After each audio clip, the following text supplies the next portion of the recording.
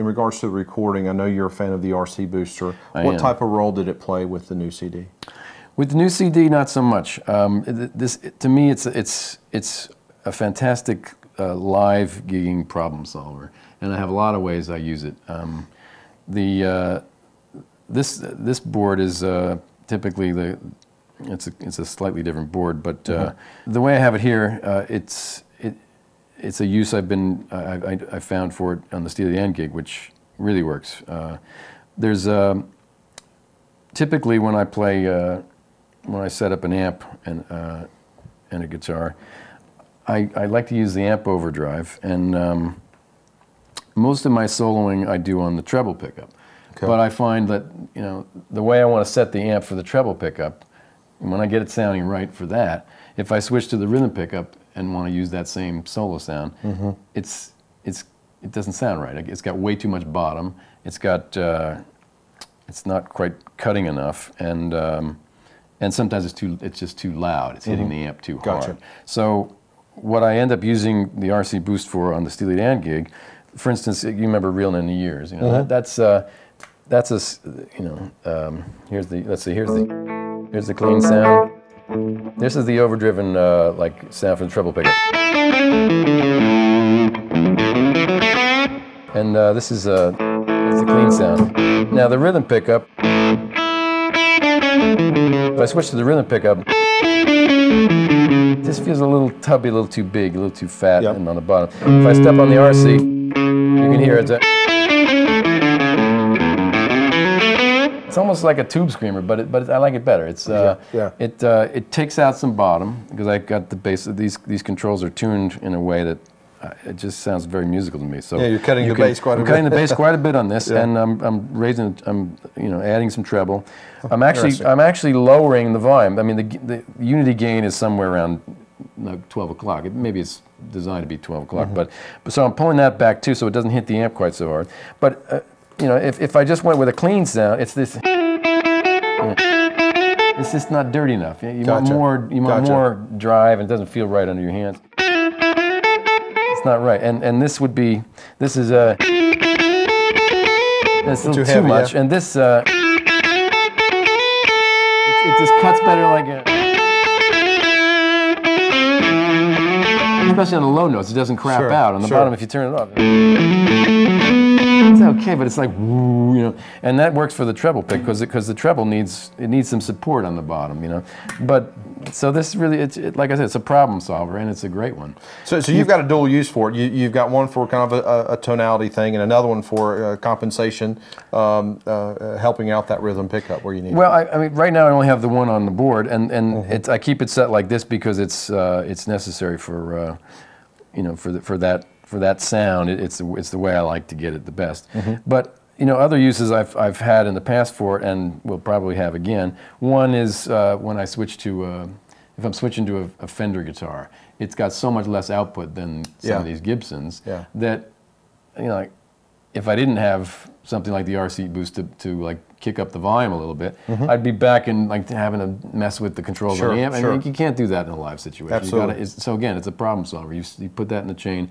When you switch to the Fender, you step on it, and you know, and then when you Well, I, li- I switch like back, how you describe that as off, a you know. problem solver. It's and- great that way. I mean, and, and there's another way. I, I don't know if we can get back here and show it this, uh, but but the way I use it, um, I've got another one over there. And I'm going to use to uh, to play along with a track from the record. Sure.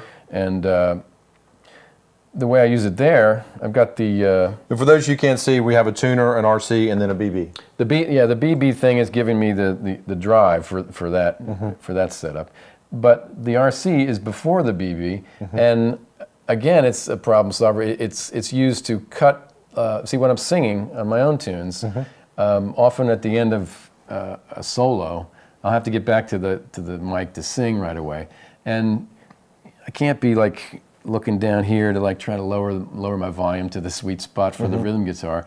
It needs to go like bang right down to the Sure. level that I need for the rhythm guitar, and I don't want to I don't want to have to think about it. So I have the RC set up so that it goes right down. I mean, it, it cuts. Mm-hmm. And adjusts the tone a little bit so that it just feels like the right tone. But like I can just step on it, and right right away we're down to rhythm guitar volume, And, uh, and, Interesting. and for the solo, I step on it, and uh, and I'm and, and it's bypassed, and I go right to to the BB, and it's. Uh, but I keep the BB on, and just cut the input to it with with a cut from the RC Sure, boost. sure. So it's funny that I mean I'm using it in a lot of these cases as a cut, not a not a boost, you know.